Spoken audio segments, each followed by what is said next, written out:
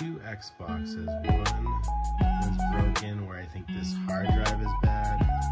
And this other one I purchased had a bad DVD drive. This is the broken DVD drive.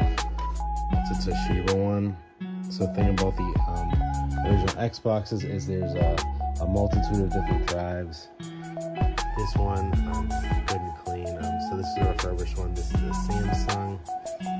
Basically what would happen is this wouldn't even open up. As you can see it opened up. So literally all I had to do was detach this ribbon cable, this yellow cable here.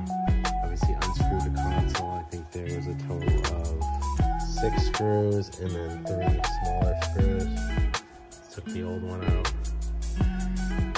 Put the new one in here and powered it up and boom, got it working.